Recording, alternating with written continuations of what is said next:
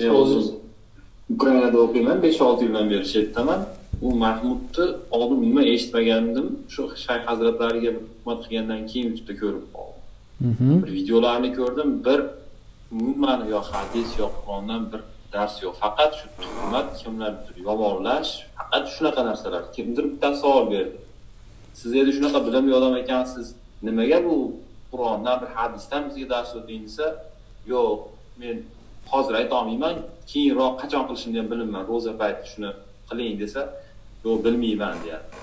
Endi shuncha bo'xton tuhmat qilyapti o'zi u qayerlik mahmud o'zbekistondanmi qayerni fuqarosi nima uchun endi posolstvo orqali shu hazratlari u hazilakam odam emas islom dunyosida bir katta ulamo shunchalik bo'xton tuhmat qilib kofirga ham chiqarib yotibdi.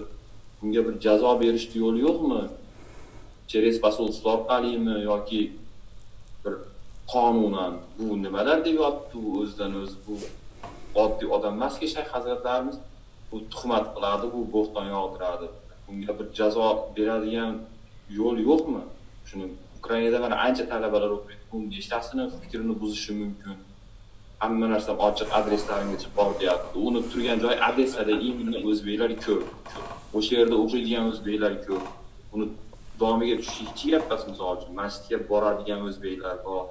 Borib u qayerdadir shu eshitsa bilsa ko'rsa u juda katta zarari tegadiyu shu yerda yurgan o'zbeklarga ishlagan degan o'qigan degan. Bunga bir to'g'ri. qonun topib bu o'zi asli asli andijonlik ekan asli. Keyin e, o'zbekistonda qamalgan qamalib qach- qachondir amnistiyada chiqqan. Chiqib qirg'izistonga o'tgan. Mandagi informatsiya lekin surishtirmaganman tagigacha. Man bilganimcha shu. Ya'ni hizbiylarni o'zi aytyapti. Hizbiylar bilarkan buni. Keyin qirg'izistonda ish ko'rsatgan u yerdan keyin surgan qochgan. Misrda yurgan turkiyada yurdi ozgina keyin odessaga borib oldi. Endi u joy siyosiy rossiya bilan o'rtasida bir problemasi bor bularni rossiyaga muxolif odamlarni to'playdi u. rossiyaga tegishli bo'lgan ya'ni rossiya bilan hamkor bo'lgan davlatlardan kim qochib borsa ular boshpana beryapti. Ya'ni muxolif yevropaga e, amerika yevropadan anaqa qilishlik uchun. Bu shunaqangi bitta e, ya'ni sotib olingan e, bir latta. O'shanga ishlatishyapti. Oyna artishga bu narsa moshina yuvishga ishlatishyapti. Endi uni jazolash davlatlar borku davlatlarni nazdida bu juda katta odam emas. Ya'ni davlat bunga e'tibor beradigan deb o'ylamayman. Uni uni misol uchun man man o'zim hatto unga gapirishlik masalasini ep ko'rmas edim. Bu mana shu aqidadan e'tiqoddan mutlaqo xabari yo'q dindan xabari yo'q. Hamma narsani sharmanda sharmisor qilib gapirgandan keyin raddiya berdim. Orada keyin ketib olib yana tuhmat qildi. Shunga o'xshagan raddiya bo'lyapti. Lekin e, man ko'p kuzatganim yana tarixda ham bor. Avvalgi suhbatlarda ham aytganman ibn abid dunyoni mujabid da'va degan kitoblari bor. Duosi ijobat bo'lgan zotlar.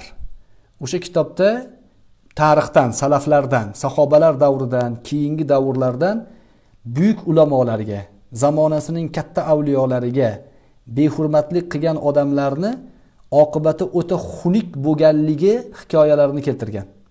Yiqqan shuni shu kishi. Masalan bir sahobani hozir abdulloh ibn abbosni bo'lsalar kerak yoki abdulloh ibn umarnimi? Bir kampir bir ayol talashib yerlarini olib qo'yadi. Hujjatlari yo'q meniki deb turib oladi. Shunda aytadilarki allohim buni umrini uzoq qil shu dunyoni o'zida ko'rsat deydilar duoibat qiladilar. Shu rivoyatni aytgan odam aytadiki haligi kampirni man e, oxirgi umrini ko'rdim deydi. Tirnoqlari o'sib ketgan sochlari payparib ketgan xonadoni o'sha o'zi yashar ekan ha. Shu o'zlashtirib olgan yeri o'ziga qabr bo'lsin deganlar. Duoibat qilganda.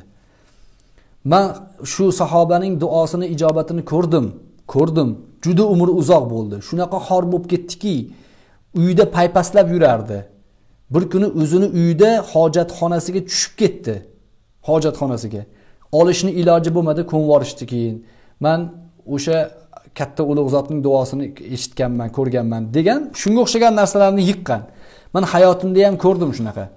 Ulamolarga ya'ni katta ulamolarga tashlangan odamni alloh taolo o'zi dunyoni o'zida tezlatadi. Bu bu bor narsa. Tavba qilsa inshaalloh uni. Alloh taolo tavba qilsa umidimiz bor. Ya'ni hech bitta odamning bunni qonashligini dushmanimiz bo'lsa ham burnini qonashligini xohlamaymiz. Tavba qilsa iymonini isloh qilsa allohni huzuriga yorug' yuz bilan borsa naqadar a'lo. Lekin unga qaytmasa uni jazosini alloh taolo o'zi zimmasiga oladi. Chunki do'stlariga qarshi yurganga man urush e'lon qilaman degan. Buxoriyda hadis bor. Man ada li valiyan faqat azantuhu bil harb degan. Hadis qudusiy. Kim do'stimga qarshi dushmanlik qilsa man unga urush e'lon qilaman degan.